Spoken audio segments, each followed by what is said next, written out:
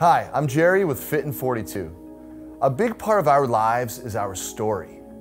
You know, whether it's true or not, what we think every day kind of creates our story. Let me tell you about my story. I was born to drug addict, alcoholic parents. Um, I have a brother, luckily, and at a very early age, my parents divorced. My dad got clean, and he got custody of my brother and myself. My dad married four wives throughout the years, and my brother and I, we uh, were subjected to a lot of mental abuse throughout the years and a feeling of we weren't very important. A feeling that all of my dad's wives were so much more important than my brother and myself. Later on in my life, my early 20s, my mother died of a drug overdose. Uh, that was really hard for me. Just a feeling of loss and not having your mother, and then growing up and uh, being in a, in a broken home, but it all worked out for me. It's part of my story, it's who I am. Now, luckily, I had my brother to lean on throughout the years. I had him to, to go to and, and to be with when times were really tough for us. I was very fortunate to have a lot of friends, great friends, best friends, and their families took me in. And they kind of knew. They knew what was going on at home, and they, they kind of they opened up their doors, and I could spend as much time at their places as I needed to. You know, that's my story. I could have went at a very young age and I could have went crazy. I could have went the drug route. I could have went the alcohol route. It's in my blood, right?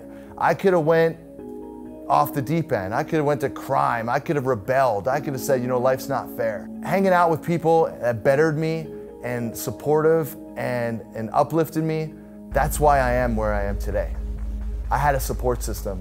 I had people I could lean on, and that's my story. You know, fast forward, um, owned gyms out in the Coachella Valley, California for almost 12 years now, my brother. We moved out here and we got, you know, we got motivated. We always wanted to own businesses and what better to help people, to help people that are going through tough times in their lives with their health and their fitness and their image and their self-worth. That's my story. I got a, went to a fork in the road and I was able to take a turn and say, you know what? I'm not going to let it bring me down, my past. What's your story? How do you feel about yourself? Did you go through a breakup? You're feeling worthless. You're feeling like nobody wants you. You're feeling down on yourself. Do you lose a job? You're feeling like life is is is what's the point? Do you lose do you lose a loved one and someone pass away in your life?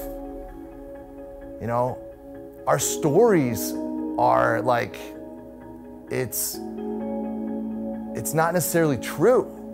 You know, we all have a past. We all have things that happen to us, but do we do they have to define who we're going to be? So here we are, Fit in 42. It's our way to help people define their new stories. It's our way to get people to be surrounded by support, surrounded by people who care, and surrounded by people that won't let them fail.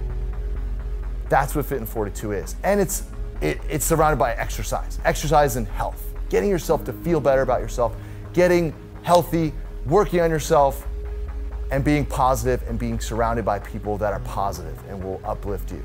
That's what we do here at Fit in 42. So if you need help, if you need help with your story, you're feeling down on yourself and you're kind of lost, reach out to us. That's what we do. We help people change their story. That's what Fit in 42 is. So, thank you so much. Give us a call. Visit fitin42.com for more information. And uh, thanks for listening to my story.